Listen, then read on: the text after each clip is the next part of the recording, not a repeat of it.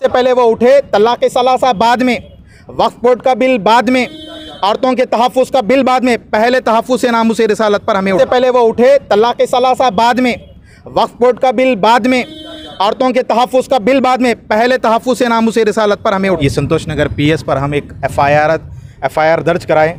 गुस्साख रसूल रामगिरी महाराज के ताल्लुक से जिसने जो है सोशल मीडिया के ज़रिए से हमारे नबी करीम सल्लल्लाहु अलैहि वसल्लम की पर्सनल ज़िंदगी पर सवाल उठाए, अश्लीलता का इल्ज़ाम लगाया तो इसके ख़िलाफ़ हम इंडियन क़ानून के हिसाब से, हिंदुस्तान के क़ानून के हिसाब से सख्त से सख्त कार्रवाई की जाए, इसका हमने इंतबा दिया हमारे एस एच ओ साहब को। इन हमें ये उम्मीद दी एस एच ओ साहब ने ये तयन दिया हमें कि इन वो सख्त से सख्त कार्रवाई करेंगे और इस कम्प्लेंट को अपने आला अहदेदारों को, अपने ऑफिसर्स को ये पहुँचाएँगे। बाकी का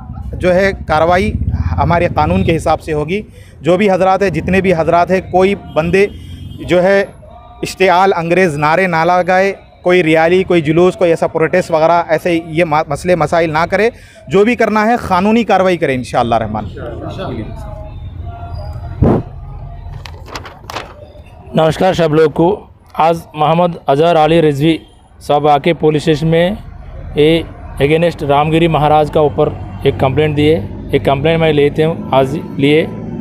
एक कंप्लेंट के हिसाब से वो लीगल एडवाइस भी लेके ले लिया तुम। लीगल एडवाइस आने के बाद मैं लीगली एक्शन लेता हूँ। थैंक यू अभी भी थोड़ा कोऑपरेट करना। आपका मदद भी होना है संतोष नगर पुलिस का। सबको थैंक यू आपसे एक रिक्वेस्ट है थोड़ा स्ट्रॉन्ग एक्शन लीजिए। पूरे इंडिया में क्या है बोले तो? दस पंद्रह दिन से खाली नहीं नहीं सर ने हमारे को ये तयकुन दिया कि अपने आला अहदेदारों अपने आला ऑफिसर्स को ये कंप्लेंट हमारी जो है ऑलरेडी सर ने फॉरवर्ड कर दिया। जो भी सर के जो सोर्सेस है वगैरह हमारे को बताए और सर बताए कि ये बात सीएम साहब तक जाएँगे इन रहमान इन ऐसे मोंगर्स को जो किसी भी मज़हब को जो है फ्रीडम ऑफ़ स्पीच की आड़ में जो है हेट स्पीच दे रहे हैं किरदार तक पहुंचाएँगे। और रही एक एक अपील है अहल सुन्नत से मशाइ इज़ाम से जितने भी मोहम्मद रसूलुल्लाह सल्लल्लाहु अलैहि वसल्लम के मानने वाले हैं जितने भी मसाजिदें हैं मदारसें हैं खानखाएँ हैं बारगाहें हैं जितने भी यूनिवर्सिटीज़ जो है इस्लाम के नाम पर चल रही हैं, मोहम्मद रसुल्ला के नाम पर चल रही हैं, उन तमाम हजरात से गुजारिश है कि वो अपने अपने इलाक़ों में, अपने अपने शहरों में, अपने अपने आला अहदेदार जो रखते हैं ना, उनके पास जाएँ, बैठें। जैसा कि माजी में रिसेंटली में वक्फ़ के ख़िलाफ़ एक क़ानून लाया था, एक बिल लाई गई थी।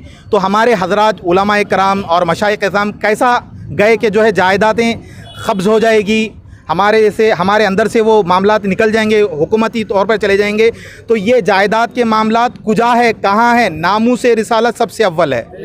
तहफ़ नामू से रिसालत सबसे अव्वल है।